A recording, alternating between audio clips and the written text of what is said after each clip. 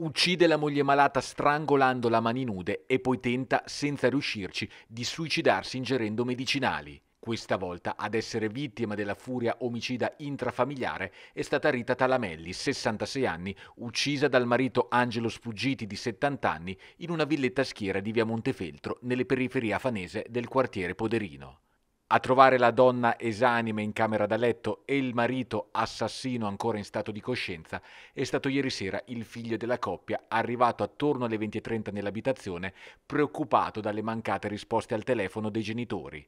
Si è però trovato al cospetto della più sconcertante delle scene e avvertito subito polizia e 118.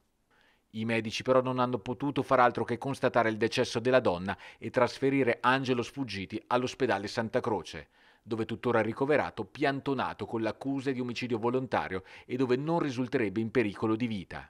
Rita Talamelli invece era morta da alcune ore rispetto al momento del suo ritrovamento. Bisognerà però attendere l'esito dell'autopsia per chiarire un altro sconcertante femminicidio avvenuto a pochi giorni dal caso di Giulia Cecchettine che ha scolso l'Italia e in vista del 25 novembre, giornata internazionale della violenza sulle donne una giornata alla quale si arriverà col quarto femminicidio nelle Marche di questo 2023, il secondo a Fano a distanza di un anno dall'omicidio di Anastasia Lascri.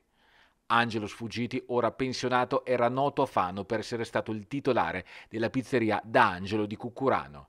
Sembra che la moglie soffrisse da tempo di problemi psichiatrici aggravatisi nell'ultimo periodo. Questo il contorno familiare di una complessa esasperazione che ha portato a un omicidio il cui movente però resta tuttora al vaglio degli inquirenti.